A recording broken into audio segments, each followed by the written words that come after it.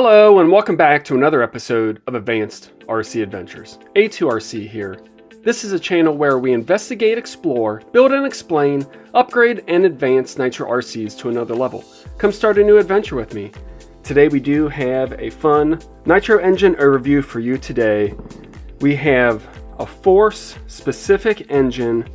This is the R18 or the 18R I've seen it denoted both ways in both the, instruction manual as well as the company. This is distributed out of Germany from PartCore. And this is the exact reason why I wanted to do this Force 18 engine overview volume. This is the inspiration engine. So let's open this thing up and let's start the adventure. So we have our bubble wrap here. Let's get it out of the bag.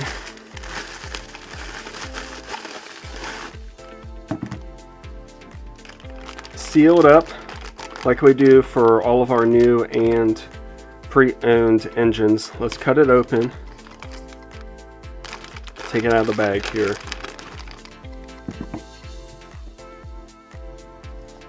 Take out our desiccant pack here. It's always great to have a brand new desiccant pack with your engines if you're able. Let's take a little walk through, a little look around on this engine. This is probably one of the best force specific built engines that I have come across. This is another small block. It's the R18 or the 18R distributed through PartCore. Have an SG shaft. And like all of our engine overviews, we're going to take off this back plate. This is a bump start engine converted. Take off our cooling head and take a look through the entire engine. We got our pinch bolt here. This is another standard 6 millimeter pinch bolt. Let's wiggle off the carb. This is a very, very similar slide carb to the HPI Force Built G 3.0 HO high output version. We have dual O-rings there, one at the bottom of the carb neck as well as with the top. Our idle speed adjustment here. All brass construction high speed needle. Slide carb with a rubber boodle boot. This is a 7 millimeter bore down inside, so this is a relatively big or at least a good size for an 18 size displacement engine. There's no additional markings on here. Most of it is composite, of course, and as you see, there's some aluminum components. This is a two needle carb. We have our high speed here, like I mentioned, and our low speed there on the slide barrel. Let's put that aside and keep on moving around. Like I mentioned just briefly, this is a converted bump start engine. This comes with a pretty standard backplate setup for all of the Force small block engines. This uses the smaller style one-way bearing. It's a 12 millimeter bearing, but it has the same type of starter shaft. Originally on the end of the crankshaft, there's that pin and spring for the starter shaft, uses a butyl O-ring. So very much the same as the other HPI sister engines, the G3.0s. The pull start itself, nice silver sticker, Force Engines, made in Taiwan. This does not have a retainer, so I just have some rubber bands hanging around here. I've used painter tape. You can use whatever you want, just if you're gonna take your pull starts off and there's no retainer in the back, do something to make sure that that's captured and that cartridge and spring doesn't come flying out. Like I mentioned, this is the engine that I was excited to start this Force 18 engine overview series. And uh, can you blame me? This is a great looking small block from Force. So let's pop off this back plate here and show you what's going on inside.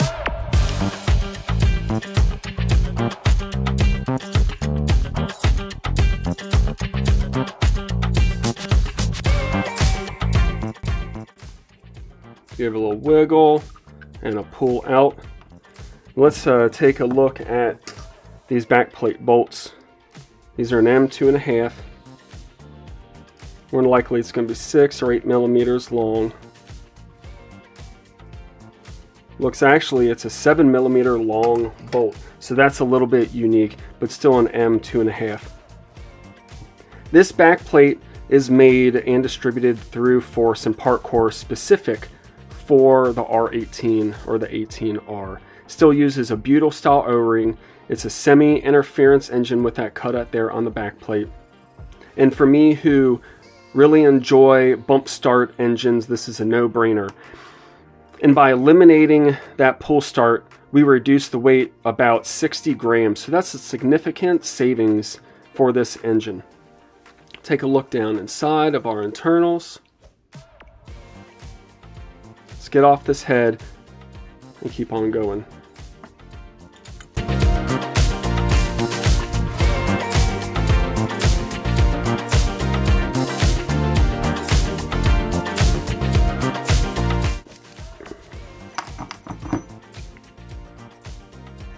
This head button wants to come off here, so let's go ahead and talk about this first. This is a standard style head button, so it uses standard style plugs, it's not a turbo engine. And let's pop off our shim stack here and give them a little measure.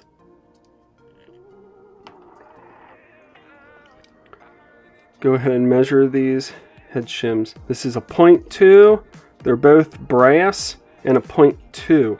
So this is a 0.4 shim stack, which is a little bit big, but we can go ahead and try this engine out and play with it and see if that's what makes most sense, especially depending on what type of nitro concentration.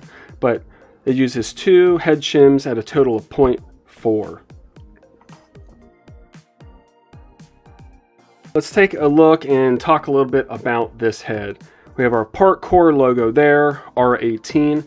This is the exact same head that the G3.0, T3.0, etc. uses. It's cast.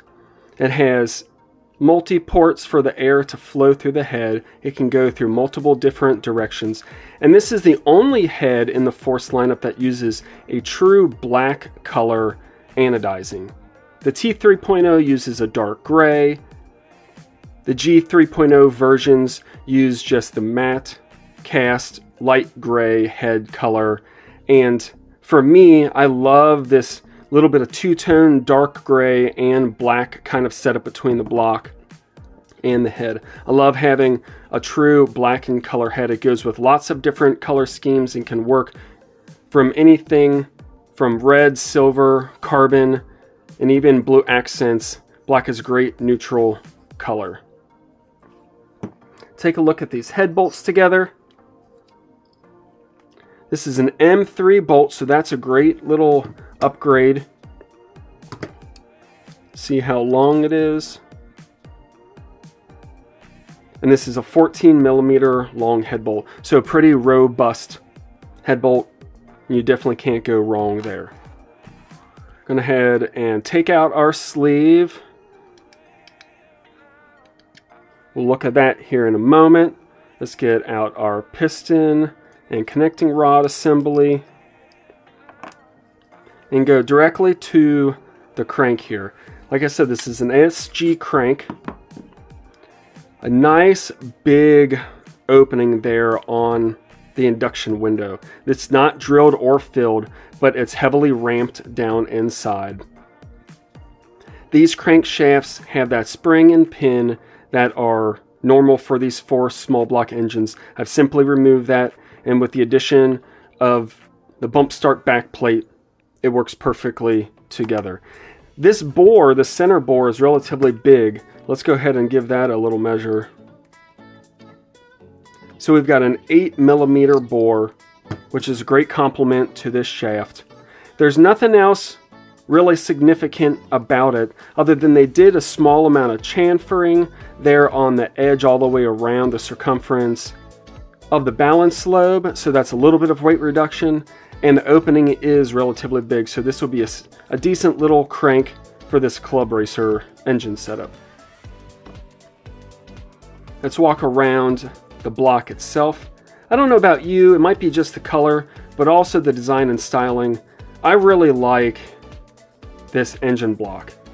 It's pretty, it's beautiful to me, and the internal machining is pretty great too. This uses chrome steel bearings front and rear. And I don't know if you can see it down inside, but the machining for the transfer ports and the boost port, as well as the exhaust port, is relatively extreme. There is a cutout inside of the exhaust, which is relatively standard for some of these rear exhaust engines, but this is honestly extreme. It is epic. It goes the entire distance from inside to out to allow for that, that airflow to go from the inside to the outside as evenly as quickly as possible. And the bore down inside for the window for the exhaust port is massive. But it's just a pretty looking block and I'm happy to have it here in the collection. Let's jump over to the piston assembly set. This is a decent piston. It's a flat top piston. It uses a captured wrist pin. There's clips on either side. And this has two grooves on top of the piston for oil. The skirt is cut out there for the front. Always when you're doing the assembly, that cutout's gonna face towards the front of the carburetor of the engine. As well as if there's an oil groove there on the connecting rod that's going to be facing towards the front as well. This is a billet machine connecting rod, but this is a cast piston that's later been machined. Brass bushings, and it's a decent little setup. Force claims this to be another 2.2 horsepower engine, and if it's possible for the HO to get that, then it's very possible for this 18R to do the same.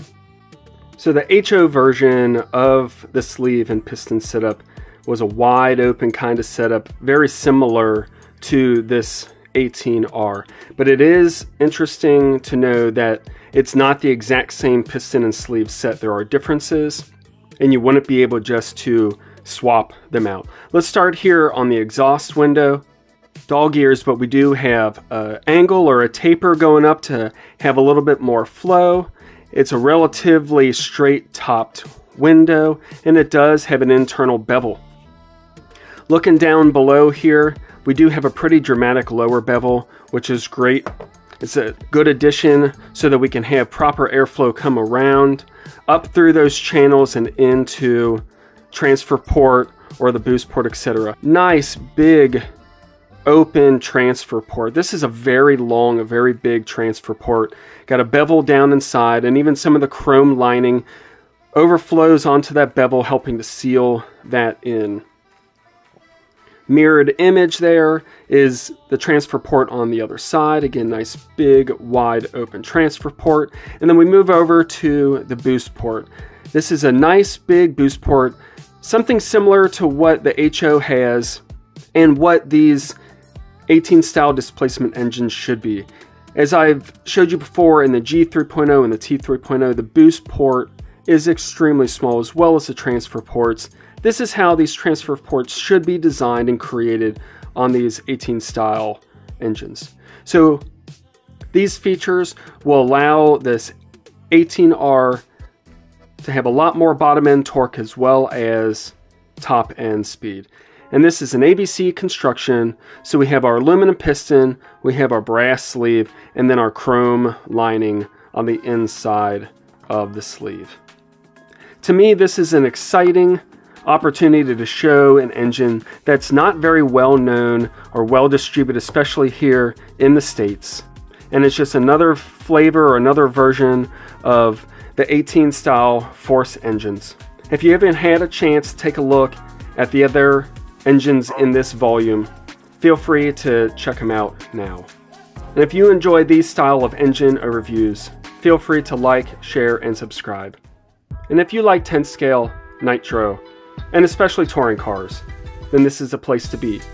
And thanks for taking the adventure with me.